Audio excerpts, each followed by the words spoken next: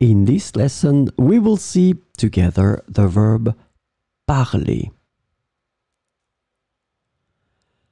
The verb parler is translated to to speak, to talk, to communicate, and to chat in English. So we will see some examples with parler in présent de l'indicatif. Je parle français anglais.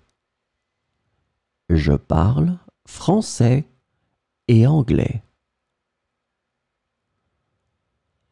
Elle parle avec enthousiasme de son voyage.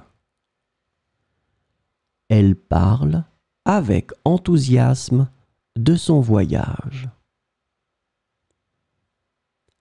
Nous parlons souvent de nos projets futurs. Parlons souvent de nos projets futurs. Le professeur parle lentement pour que tout le monde comprenne. Le professeur parle lentement pour que tout le monde comprenne. Il parle de politique lors des réunions. Il parle de politique lors des réunions.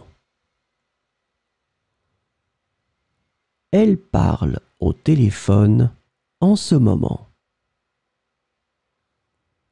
Elle parle au téléphone en ce moment.